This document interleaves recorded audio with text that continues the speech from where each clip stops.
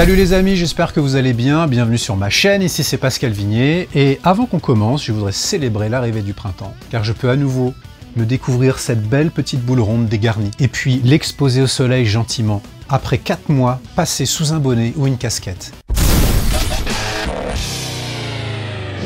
J'espère que vous allez bien. Et donc dans cette vidéo je profite de la sortie du live de Surfing with Joe pour faire une petite vidéo vlog sur ce concert qui a eu lieu le 13 février 2021 sans public. Donc pour ceux qui ne le savent pas, Surfing with Joe c'est mon groupe de reprise de Joe Satriani, donc c'est un tribute, un trio, avec lequel j'ai pas mal tourné. Et du coup on a fait un concert mais avec personne devant. À cause des conditions sanitaires, comme vous le savez, eh bien, les concerts avec du monde sont tout simplement interdits en ce moment. Et c'était un tel événement de refaire un concert que donc j'ai voulu en faire un petit vlog. Et puis en plus, il m'est arrivé pas mal de péripéties. Et bien sûr, je vais tout vous raconter. Alors déjà, le contexte, c'est que j'avais pas fait de concert depuis plus d'un an. Donc premier concert, ça c'est quand même bizarre de remettre les pieds sur une scène pour rejouer en fait avec, euh, ses camarades sur scène comme ça. Mais euh, le truc surtout c'est que le concert il a été confirmé une semaine avant. Jusqu'à ce moment-là on savait pas si on allait jouer. Donc une semaine et c'était pour moi la pire semaine parce que j'avais 12 000 trucs à faire. Donc il a fallu, alors que j'étais en plein travaux, il a fallu que j'essaye de trouver le temps de répéter les morceaux de Joe et de me les remettre dans les doigts. Donc ça, ça n'a pas été une mince affaire. Et comme j'étais dans les travaux, je me suis à moitié bousillé les mains et je suis même arrivé sur scène avec encore de la colle sur les doigts. Du coup, c'était euh, quand même euh, assez épique comme moment. Je sais pas si c'est le terme, j'avais juste envie de l'utiliser. Ça fait bien. Épique, en ce moment, tout le monde parle de trucs épiques. Mais bon, j'ai pas voulu annuler quand même, surtout qu'on était engagé. Donc on a fait le concert, on a juste répété la veille et la veille, c'était super de pouvoir répéter à nouveau. En fait, j'ai eu énormément de plaisir euh, à répéter. Je sais pas, il y a une espèce d'esprit de camaraderie, de détente et en même temps de relâchement, parce qu'il n'y a pas cette pression du live. Donc les répètes, c'est toujours les moments où on raconte n'importe quoi, où on sort des blagues, où voilà, on fait, euh, on fait vraiment ce qui nous passe par la tête. Donc ça, c'était assez sympa. Et puis le lendemain matin, donc j'ai eu une super bonne surprise. Juste après m'être levé pour aller euh, à la salle, parce qu'en fait, on devait y être à la base vers midi, donc la salle du Triton. Eh bien, c'est qu'en fait, ma voiture avait disparu. donc ça, c'était vraiment une très bonne surprise, n'est-ce pas? J'arrive à l'endroit où je l'avais garé, j'avais fait attention je m'étais garé la veille, et puis là j'arrive, plus de voiture. Et là je peux vous dire que ça fait bizarre. Mon premier réflexe c'est de me dire, bah, j'ai pas dû me garer là, j'ai dû me tromper de rue. Et puis euh, finalement non, euh, il s'avère que j'étais devant une entrée carrossable, alors c'était pas du tout indiqué, c'était vraiment pas évident, qu'on se retrouve à devoir gérer ça au dernier moment, juste avant d'aller à la salle et de faire le concert qui était prévu aux alentours de 14-15 heures, avec toute l'installation avant, le temps de trajet, etc., parce qu'on n'était pas juste à côté. Donc gros stress. On savait pas dans quelle fourrière était ma voiture et donc il a fallu que j'appelle euh, un petit peu partout pour trouver euh, la fourrière en question. Et le problème en fait c'est que les chauffeurs qui enlèvent les voitures ils sont en tournée et sont pas forcément encore rentrés à la fourrière au moment où vous appelez. Donc du coup, la fourrière peut pas vous dire si c'est bien votre véhicule qui a bien été enlevé par leur service, etc. Donc euh, voilà, gros bordel, il a fallu appeler plein de fourrières, etc. Au bout d'un moment, on a trouvé la bonne, donc il a fallu que je me fasse emmener à cette fameuse fourrière. Et puis là, j'ai découvert en fait que c'était pas si simple, on peut pas récupérer sa voiture, donc c'est un tuto fourrière, mais euh, vous, saurez qu'on peut pas récupérer sa, sa voiture comme ça. Il faut un document qui s'appelle une main levée, et pour ça, il faut aller à l'hôtel de police le plus proche et faire la demande eh d'une main levée pour pouvoir, euh, pour pouvoir tout simplement récupérer son véhicule. Il a fallu que je récupère les papiers qui étaient dans mon véhicule, mais pour ça, comme c'était le week-end, il, fallait attendre qu'il y ait un chauffeur qui soit là. Donc voilà, un gros bordel. On va au commissariat. Alors le commissariat où on est allé, c'était une grande blague. Je vais pas le citer parce que j'ai pas envie de, pas envie de me moquer. Mais c'était très drôle euh, parce que euh, on était euh, tout seul dans le commissariat et donc on a attendu une demi-heure. La personne savait pas comment faire. Il a fallu qu'elle appelle un autre service. Mais l'autre service, il y avait personne au bout du fil. Vous savez la France, les services en France.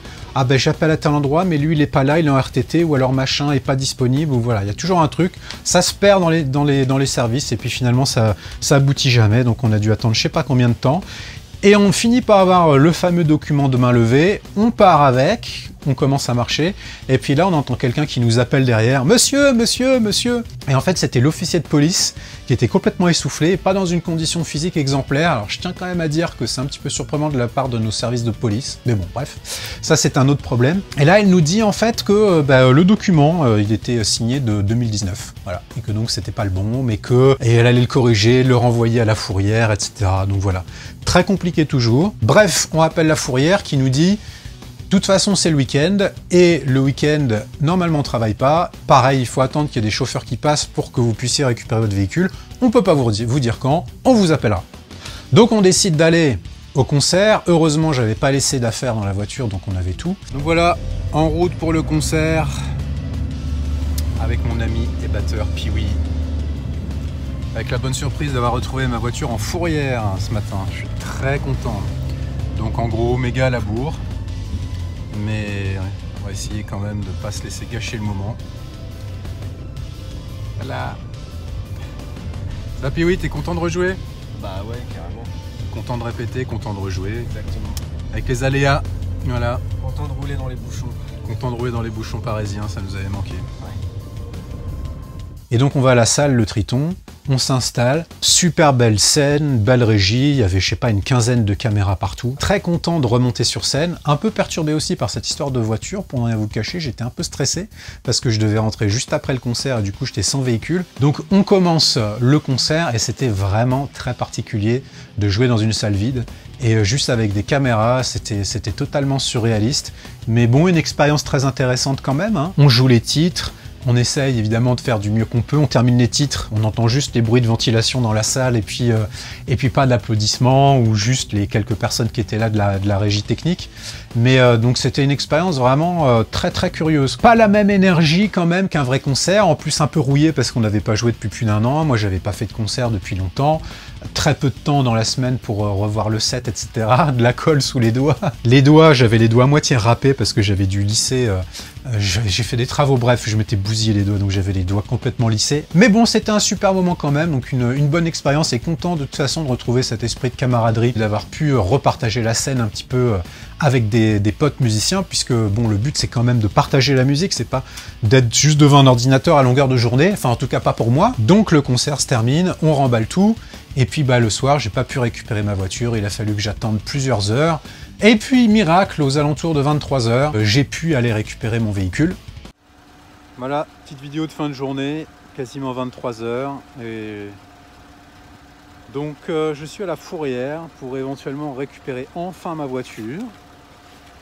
Donc, une journée euh, bien pénible à ce niveau-là. Après le concert. Donc voilà, ma voiture est là-bas derrière. Il fait moins 5, on est bien dehors à attendre qu'on va bien nous ouvrir. Voilà, voilà. Ce qui m'a coûté euh, la modique somme de 130 euros plus 35 euros d'amende. J'étais content. Mais en tout cas, voilà, j'étais content de récupérer mon véhicule et content de rentrer euh, le lendemain. Dimanche matin, 9h, à Lagny-sur-Marne, chez mon batteur. Donc je vais me rentrer. Et puis, euh, des petites surprises là sur la route. Là en fait il y a les égouts qui ont euh, refoulé plein d'eau là. Et du coup euh, ça fait du verglas mais partout quoi. Donc c'est une véritable patinoire jusqu'ici. Donc il euh, va falloir voir un peu quand je vais devoir passer avec ma voiture, ça va être fabuleux. Voilà. Donc on va voir ça. J'ai évidemment hâte que les concerts reprennent. Pour moi, c'était l'occasion de remettre le pied sur scène, de repartager des bons moments. Finalement, les concerts sont en train de reprendre dans la tête des gens une, valeur inestimable, et ça, c'est quand même très positif. Donc je pense que le jour où ça va reprendre, eh bien, je pense qu'on sera tous en mesure, musiciens comme public, de réapprécier les concerts à leur juste valeur, puisque c'est vraiment dans les périodes où on retire nos libertés qu'on prend conscience à quel point elles nous sont importantes. Et donc, euh, finalement, quand je me rappelle bien l'époque des concerts avant la pandémie, un concert, c'était quelque chose qui était devenu finalement assez banal et qui intéresse peu la nouvelle génération. Et donc peut-être qu'avec tout ce qui est en train de se passer, c'est mon côté optimiste, eh bien peut-être qu'on aura la chance euh, de retrouver le, vrai euh, sens des choses et de la valeur des choses, et notamment des concerts. Voilà, donc j'avais envie de partager euh, ces petits instants avec vous. N'hésitez pas à réagir dans les commentaires. N'hésitez pas à aller voir la vidéo du concert qui est disponible sur euh, le site VOD du Triton, je crois pour 2 euros. Il y a aussi donc un petit teaser qui traîne que je vais mettre en lien dans la description et une interview réalisée le jour même aussi donc vous pouvez aller jeter un œil. En attendant, si vous êtes intéressé par le nouveau pack Les Gâteaux ou l'autre pack Pentatonique, n'hésitez pas à aller sur mon site, il y a toujours les masterclass Zoom une fois par mois, d'autres lives à venir sur la chaîne. Merci encore pour votre soutien depuis si longtemps maintenant. Je vous embrasse tous bien fort du fond du plectre, à très bientôt, ciao